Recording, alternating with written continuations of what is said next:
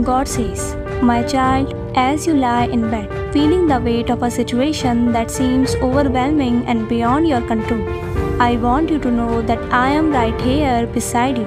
In the midst of uncertainty, find solace in the knowledge that I am present, offering you comfort, strength, and guidance. There may be times when life challenges leave you confused, questioning how things will ever fall into place.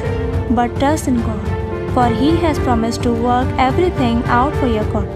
Even in the darkest of moments, He says, I am orchestrating a great plan, one that will bring about blessings, truth, and lesson that will shape your journey. Do not allow fear to paralyze you. Dear one, Fear has a way of gripping your heart and clouding your vision. Instead, muster the courage to pursue your dreams, to step forward boldly into the unknown.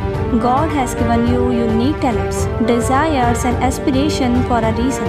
Embrace them, nurture them, and allow fate to guide your steps.